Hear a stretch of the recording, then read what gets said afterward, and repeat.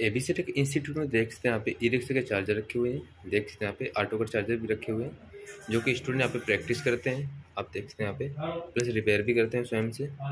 अगर इसी तरीके से आप फुल प्रैक्टिकल क्लासेस ज्वाइन करना चाहते हैं तो